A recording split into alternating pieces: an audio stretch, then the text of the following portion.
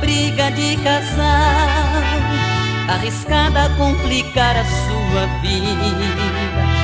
Casal de hoje em dia é uma comédia, se perdoa ao mesmo tempo que se briga.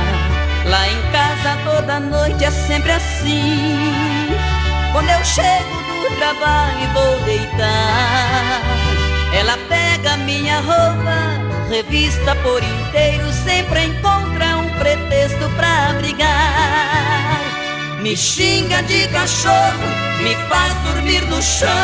Depois de alguns minutos ela vem pedir perdão. Com beijos e abraços voltamos ao normal. Vivemos em frescura de casal.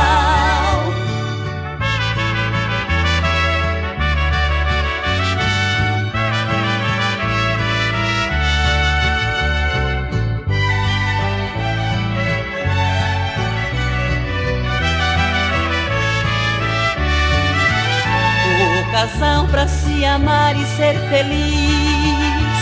Não se pode ter uma vida normal. Não se pode ter rotina em sua vida.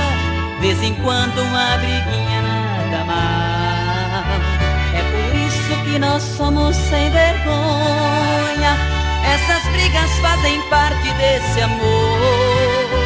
Toda vez de ir pra cama, um provoca, outro se inflama. Quando eu vejo a frescura começou. Me xinga de cachorro, me faz dormir no chão.